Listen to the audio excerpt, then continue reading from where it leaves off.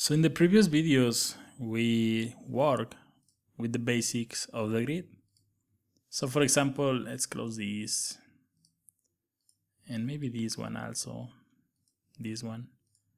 You can see, for example, in the first one, in the horizontal grid, that we have this grid container, then we have this grid X, grid margin X, grid margin Y, then we have medium 6, and for example, if you're gonna go further with this, you can also add medium uh, 8, and there is a whole chapter that we're gonna talk about these sizes. You can also add like something like la large uh, four, something like that. You can also create as many of these, but you can see that they are not something called semantic HTML. They don't. Well, it's hard to see medium six. What no? What what what? It, what's the point of using these classes? And maybe you're the kind of persons that feel more comfortable writing, writing HTML like our products. And there are some techno uh, and there are some methodolo methodologies that you will find like BEM or something like that where you have products and then you have the child and then you add something like products title or something like that.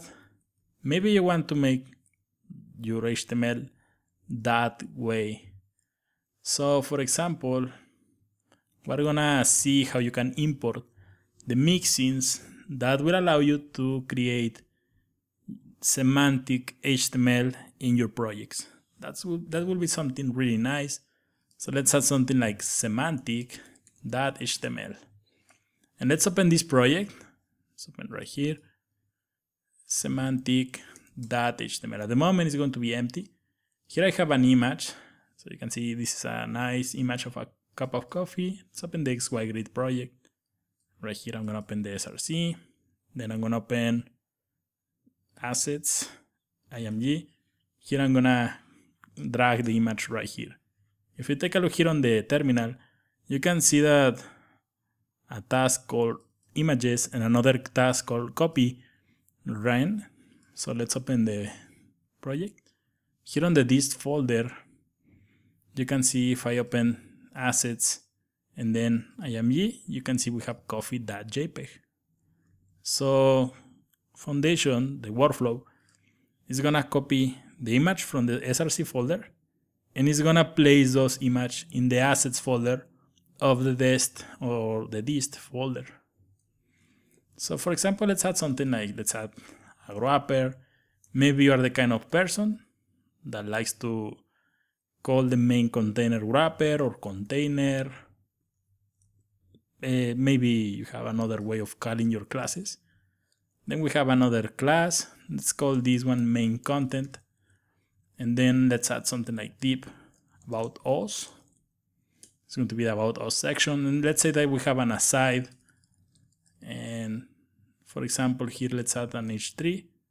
Well, an h2 that says about us and here a paragraph with a lorem ipsum, something like that. I'm gonna open right here, view tools wrap, so you can see the whole code in one line eh, or in one screen. Next, let's say that we have an H3, and we have our coffee, and here we have an image, IME SRC, assets, IME coffee.jpg. So let's say that we have something like this. We have our wrapper, we have our main content, have about us, and we have an aside. So let's open this in the browser. And now you can see we have something like this about us, text, or coffee, and the image. So how you, we can import the mixins that you will find in the framework? Well, let's open this and let's open the, let's close this. Let's open the SCSS here on the app.css and right here I'm gonna split this on the right.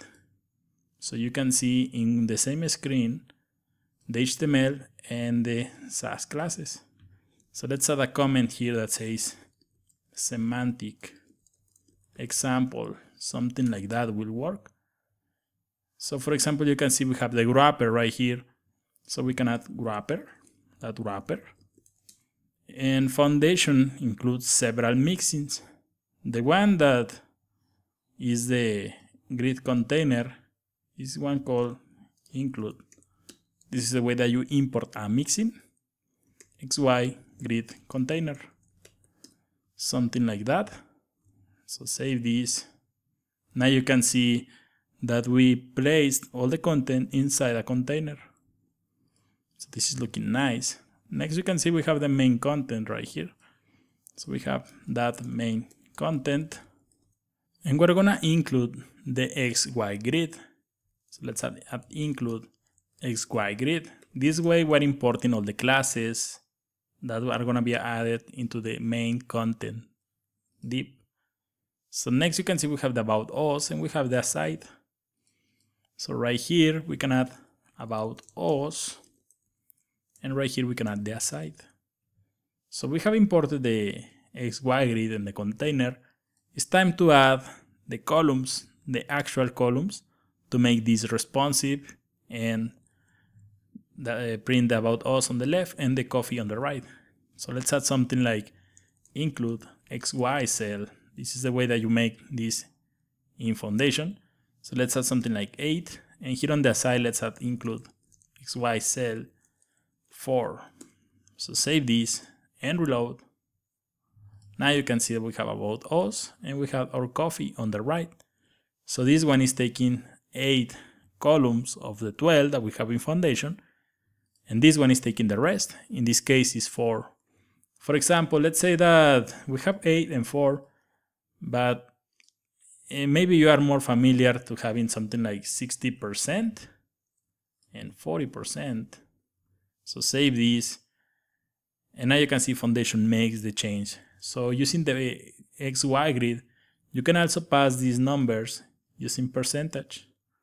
Also, for example, you can add 3 of 4 and 1 of 4. So save this and now you can see it's gonna make the changes. That's something really nice. So you can use whatever approach that you feel more, more com comfortable.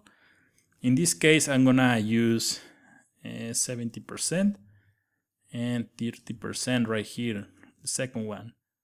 So save this and now you can see it's working. But for example, if I make this smaller, you can see always is using 70% and 30%. So how you can make this responsive? Well, let's import something called a breakpoint. Think of a breakpoint like a media query. So for example, if you add include breakpoint, you can pass several uh, different parameters right here. There is a whole video or a chapter where we're gonna take a look here on the medium uh, on the breakpoints. But for example, let's say that I, I add medium and let's copy this page right here. So we're gonna use breakpoint right here and right here. So we can cut this and paste right here and cut this one and paste right here. We, we should also import the, the XY cell so we cannot include XY cell. But if we pass the value empty, it's gonna be using the 12 columns. So something like that will work. So save this. And now you can see we have about us and coffee on the bottom. If we make this bigger, you can see it's working and it's fully responsive. That's something nice if you're the kind of person who prefers to write their own HTML like this and import the mixins. We're gonna be using this, this approach for the rest of the course, and I think this is gonna be better. One of the main advantages of using Foundation is that it will allow you to do something like this. Using this, the level of customization that you will have in your code is going to be higher. So for example, you can add another breakpoint here before we finish, include breakpoint. And you can also add something like large. Copy this. Maybe on the large version you want to have 50%. Copy this, page right here on the bottom. This one is going to be 45, something like that. So save this. Now you can see we have 65% and 45%. If we make this smaller, you can see we have it was 70% and 30%. And finally, if we make this smaller, you can see something like this.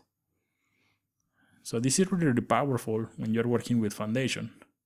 So in the next video, let's see more options that you have when you're working with the XY grid.